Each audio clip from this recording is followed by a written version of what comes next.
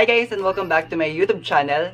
In this video, matututunan nyo at isi-share ko sa inyo kung ano-ano nga ba yung pinagkaiba ni multi-coated lens, anti-radiation lens, at transition lens. Mamaya, maipapakita ko sa inyo mga lenses or lente para ma-identify kung anong lente nga ba ang meron po kayo. At guys, napapansin nyo ang aking eyeglass is green ang re-reflect na ilaw kasi nga po siya ay multi-coated lens. Mamaya ituturo ko sa inyo kung para saan at ano nga ba sila. Basta-basta ito sinusuot or sinasuggest ng mga optometry. Kasi po, binibase po nila to sa inyong daily lifestyle. So kung gusto nyo po malaman, just keep on watching. So ito po yung sample ng mga lente na meron po ako. So kung nakikita nyo po, ito ay from Mango Eyeglass. So siya po ay walang color reflection. And then, tong, at ang isa naman po ito ay kulay blue at ito po ay anti-radiation lens. At kung nakita nyo po at sinabi ko kanina, kulay berde, ito po ay multi-coated lens. So guys, ituturo ko na ngayon sa inyo kung ano nga ba yung benefit nilang tatlo sa ating mata. So umpisa natin kay anti-radiation lens.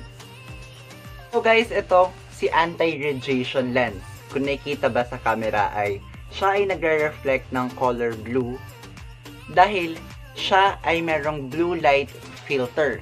Kasi merong anti-radiation lens na walang grado. Pero meron guys na hindi ina-advise ng mga doktor na gumamit ng anti-radiation lens kagaya ng mga graphic designer at iba pa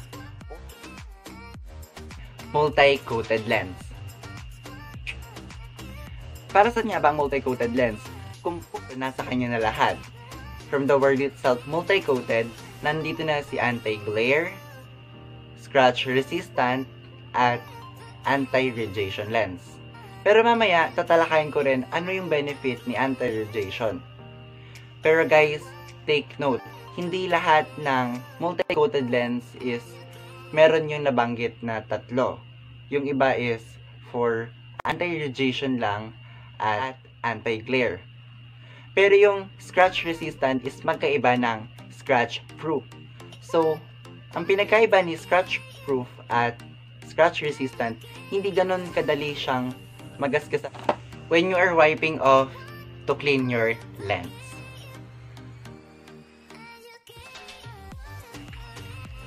So, si transition lens is siya yung nagda-dark pag nasisinagan ng araw. Take note guys, hindi nagta-transition or nagpo-photochromic ang ating salamin pag nasa loob tayo ng kotse. Pero take note guys, ang transition lens is bright. At guys, kadalasan ng magsusot ito yung may mga matataas na grado, yung mga hindi na kayang magsuot ng mga sun. Kung ang sunglasses ay merong 100% dark shade, transition lens or photochromic lens is meron lang 60%. So guys, nakikita ang mata natin kung ito ay nasa dark mode. So ayun lang guys, kung may natutunan kayo, don't forget to like, share, and subscribe, and click the notification bell button for more updates and more upcoming videos.